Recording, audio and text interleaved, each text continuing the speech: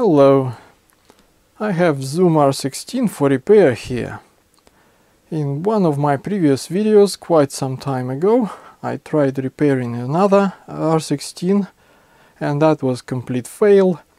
Seems like power supply died and killed R16. There was a burn hole in the microcontroller and I made another video analyzing and repairing the power supply. I will put links in the description just in case you are interested and haven't seen them. So I'm hoping to have better luck this time. I bought this R16 also quite cheap because it has a problem with the SD card slot and it seems to work fine otherwise. Let's have a look. So it says no card because I didn't put one in yet. And let's try powering up with a card.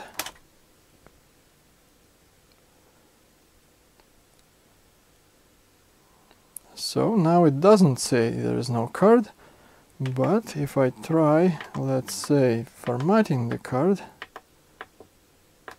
it says card error. And of course I tried a different card and the cards are tested no problem at all with them and this is how it was described. So let's take this thing apart, have a look inside and see what can we do about it. I took this thing apart, I showed how in my previous video, so I didn't bother this time. So here we are. This version is cleaner, the other one had uh, a lot of bodge wires here and here. So this is probably a newer version of the PCB. And uh, here is the SD card slot. I looked for cracked soldering joints here and I don't see any. It doesn't mean they are not cracked, they can be really hard to see. But I think I saw a bent pin inside of this thing and it's hard to show on camera so I'm going to try to shine some light right into the slot and take a few close-up pictures. Here I have a couple of pictures and here we can see all the pins in this slot and this one on the left must be bent And let's see if there's a better view here. This one.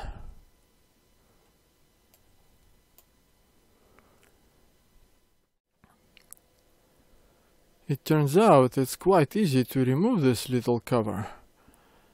And there are a couple of springs here in the ejection mechanism, so you need to be careful not to lose them. And we have a problem. I just started bending this little pin uh, slightly and it broke right off. Here is the broken off piece, hopefully you can see it. So I think I need to replace this SD card connector.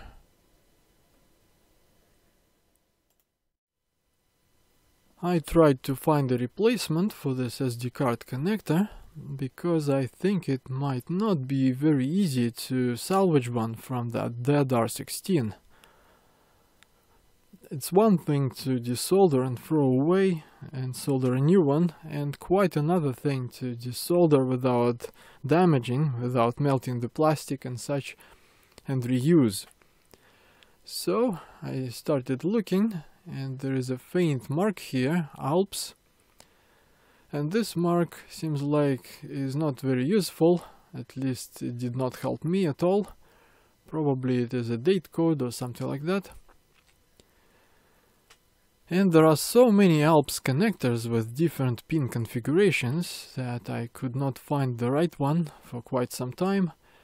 And finally I found this datasheet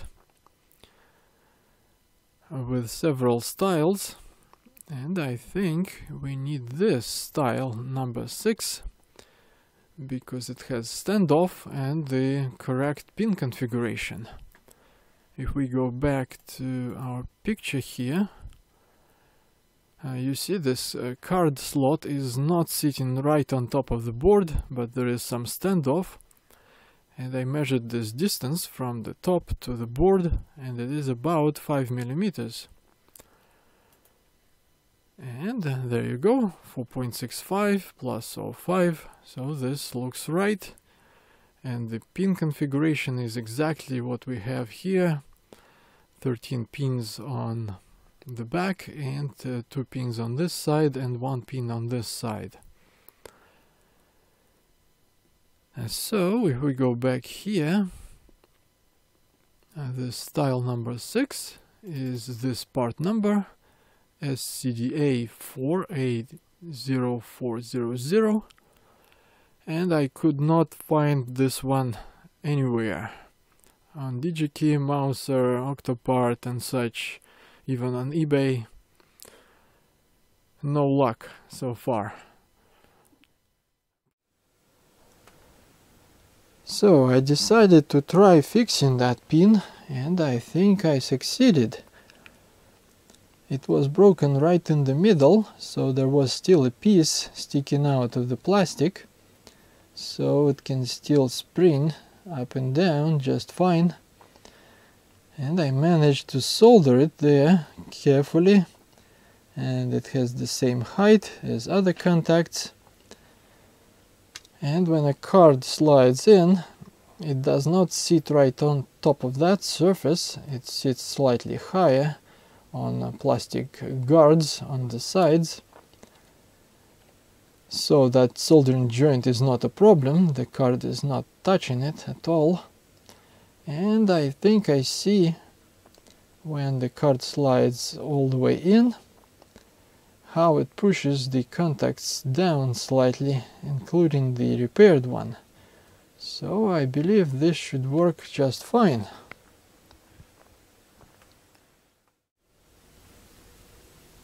Let's test. I will hold this card for now.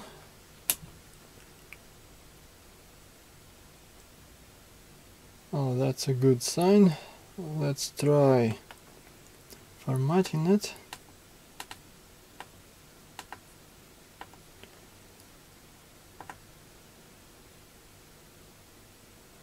Alright, no problem at all.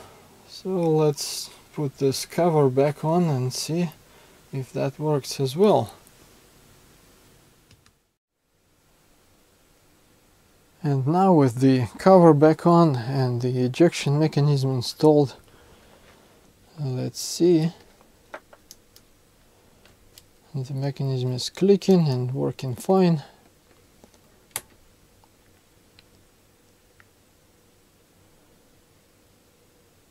Oh, this is working. And let's try formatting the card.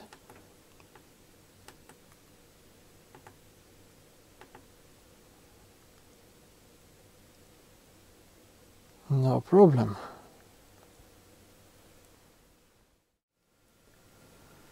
So we have a working Zoom R16 if you enjoyed this repair give it thumbs up subscribe and share. Thank you very much. Bye